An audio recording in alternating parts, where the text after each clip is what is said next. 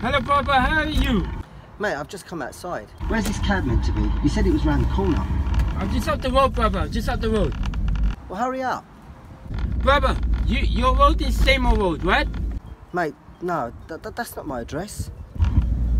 You you get this postcode N90SC? I live in Tottenham, mate. Tottenham? brother, why are you lying? What, are you calling me a liar?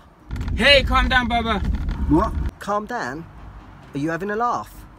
Brother, it's no joke. Now give me your postcode. No, I've already given it to you. You give Edmonton. Now you say you're in Topman. No, where'd you get Edmonton from? I live in Tottenham, mate. Brother, don't waste my time. Are you pranking me? Do what? Stop pranking me. Well, you accusing me of being a prank caller?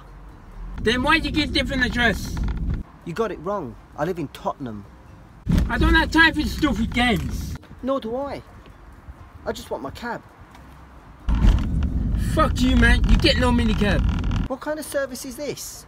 I don't want to give you no service. Now fuck off. Are you taking the piss? Bye, man. Fuck you. Bye.